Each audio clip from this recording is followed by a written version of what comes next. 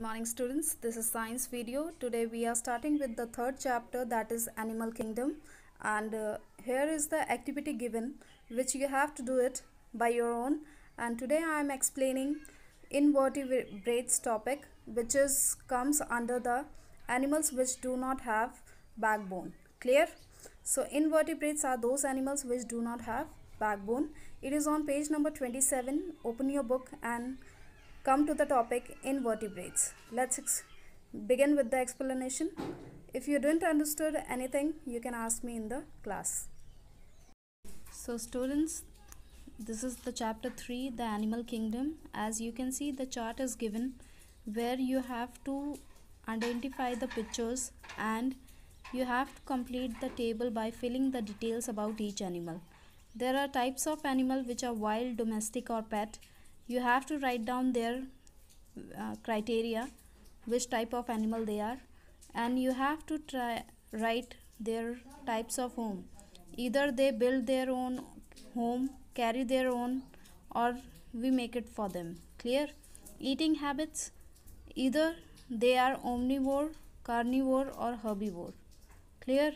So you have to write their each and every specific details about these animals clear so this is the homework which you can do it at your home and let's begin with the explanation part that is animal with or without backbone it is on page number 27 animals with and without backbone backbone तो समझते होंगे जो animals के पीछे की जो हड्डी होती है जिसे पीठ में जो पीठ होती है आपकी, उसके सपोर्ट करने के लिए उसको बैकबोन बोलते हैं, ठीक है?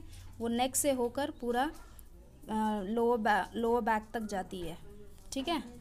A backbone is a part of a skeletal system backbone क्या है? स्केलेटल सिस्टम का ही पार्ट है.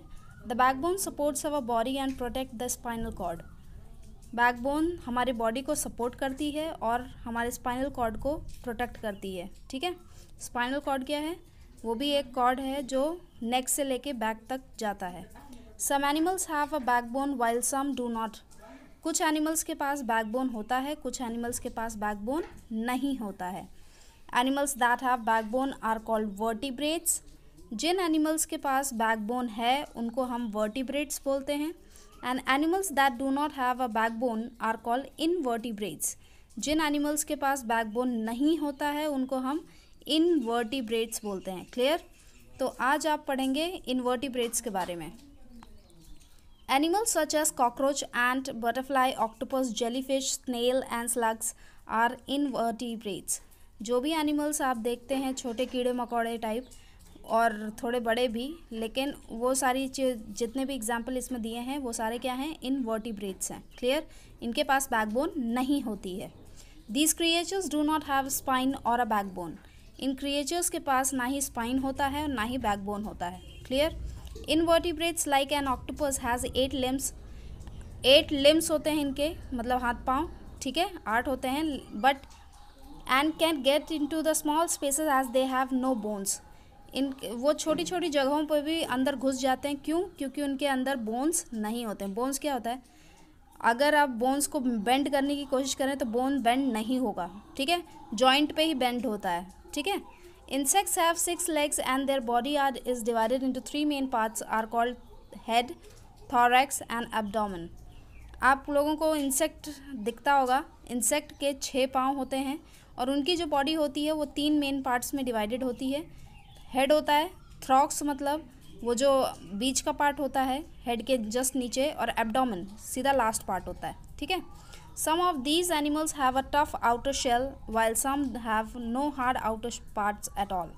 कुछ के पास बहुत ही हार्ड आउटर शेल होता है, जैसे टोटोटाइज हो गया, ठीक है? और कुछ के पास बिल्कुल हार्ड शेल नहीं होते हैं, या फिर हार्ड आउटर लेयर नहीं होती है, वो क्या है? कॉकरोचेस स्नेल जेलीफिश इन सब के पास हार्ड आउटर शेल नहीं होते हैं। क्लियर तो ये क्या है इन वर्टिब्रेट्स के बारे में? टुमारो वी विल स्टडी और tomorrow is your class test after the class test we will study further topics clear so your homework is to do this chart and learn second chapter for the class test. Thank you so much.